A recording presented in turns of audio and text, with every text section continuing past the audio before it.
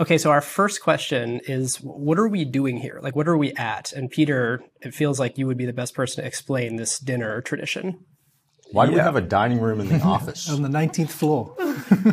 when I joined Benchmark, there was great optimism between Bill and me about, you know, injecting new practices, new habits, new ideas into the firm.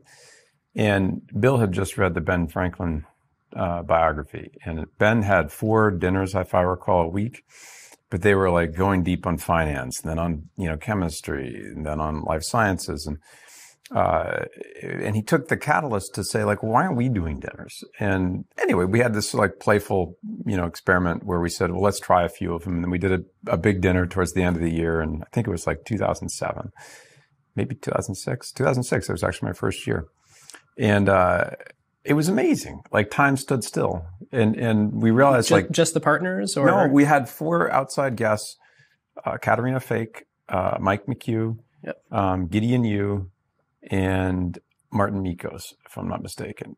And it was electric. And we came out of that Bill had this habit. He'd always call me in the car after, like, "What do you think of the dinner?" I'm like, "Ah, I think it was fun, but I want to go to bed." He's like, "No, no, no." And alcohol had been served. People were like, a, it was his baby. He wanted to like keep working on the concept. Well, well, we we danced with this idea, and so the concept that that I came to is that firms are full of strategies that aren't coupled to reality. And if you look at a venture firm, eventually it's just a collection of habits. And this is stealing from William James, who I think was the greatest American thinker um, that you know we are nothing but an amalgamation of our habits, and habits sow character, they sow everything. So the idea that we should be nurturing curiosity, which is the essential lifeblood of the firm, needed a habit. And, and, and Mondays, as much as they're an attempt at that, you sit around the office and you joke around, you try and d- dive into topics. They're, they're, limited, and so the dynamic range of a dinner with, um, you know, uh, an open-ended, no agenda, wild explorations of the most bizarre things your partners might be curious about. And I've definitely gotten a few, you know, rat holes that, with this group and they pulled me out. Uh, you know, it just became one of those things that honored the purpose of the firm, which is the sense of like constantly learning and, and activating our curiosity. But, um, you know, collective effervescence of a group that we could never get in a one-on-one dinner.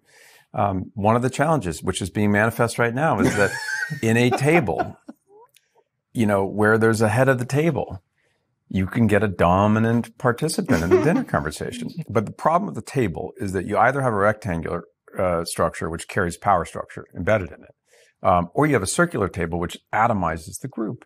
And so I'd seen this table, uh, The Seven by Jean-Marie Massaud, who's a French designer, and um, it ran with the idea. Something would be organic that could expand and collapse, but most essentially destruct or deconstruct power centers and, and create a non-hierarchical construct with intimacy. But this table ends up being um, Ole Lundberg designed it. We gave him, I gave him a hand sketch, and, and he ran with it. And uh, it's um, allowed Ole's lifestyle to meaningfully upgrade because the number of people with means that have sat at this table that decided they need a table just like this. Uh, well, so, and the people you have at this table, just for listeners who don't understand the gravity of this dinner, it tends not to just be the five partners. You have pretty esteemed guests come to these. It's the spotlight of attention, which is the biggest gift you can give to another human being on an individual.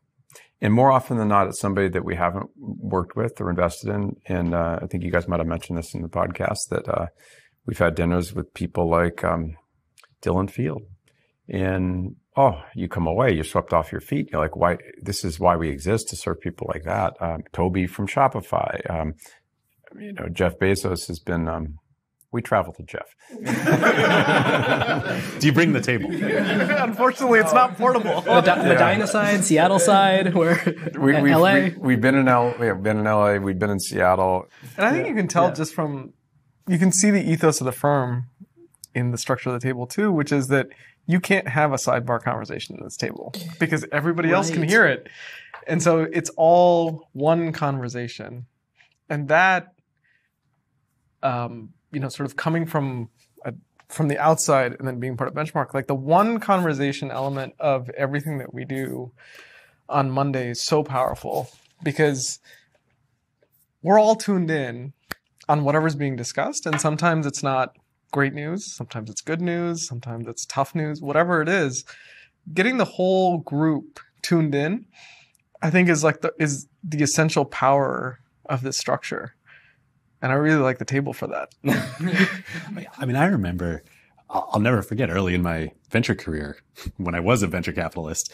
Uh, I remember an older partner taking me aside and saying, like, if you want to bring something up at the partner meeting, you need to have had a side conversation with everybody else before you bring it up at the table. Which is so It's funny like- because Bruce, when we were talking to Bruce Dunlevie, he was like, our one rule was no pre-selling a deal. Like you can't walk around the hallway and say like, "Hey, I'm super excited about this one later." Like if you, you know, you, I think you'll be excited too. Like vote for it.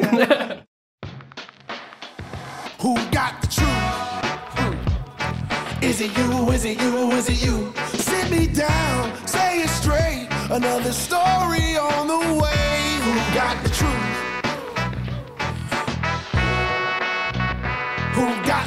now? Hmm.